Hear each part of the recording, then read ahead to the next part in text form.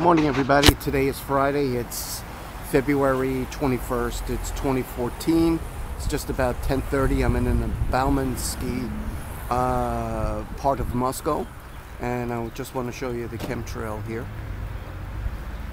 Okay, I'm going to do a 360. You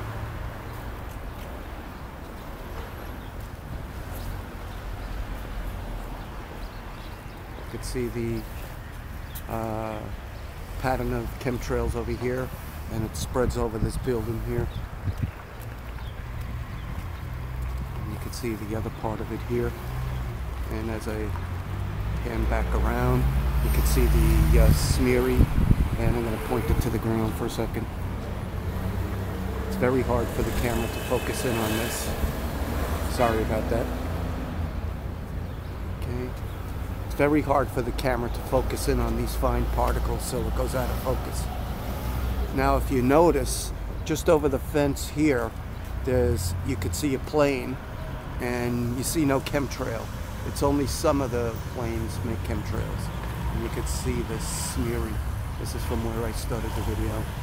So everybody's got to document this stuff.